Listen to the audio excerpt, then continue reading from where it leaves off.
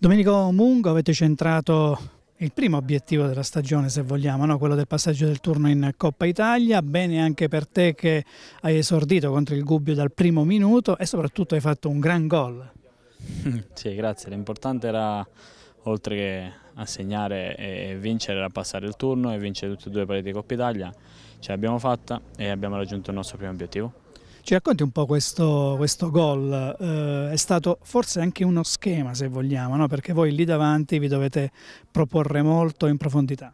Sì, diciamo non uno schema però una, una cosa provata perché Messi ci aveva detto che erano loro sempre parecchio alti e con un'imbocata leggera come è stata ci trovavamo in porta e così è stato facendo 1-2 con, con Cianci mi sono trovato in porta, il portiere giustamente era fuori. E...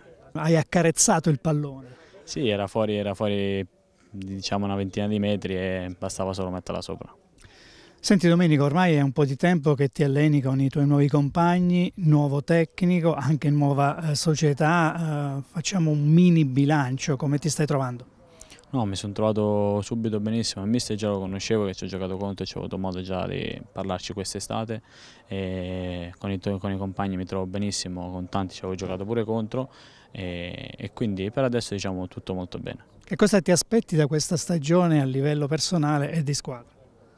Personale sicuramente di fare il miglior possibile, darò sempre il 100% in tutte le partite e di squadra diciamo di raggiungere piano piano dei piccoli obiettivi che ci... Playoff almeno? Sì, ci proviamo.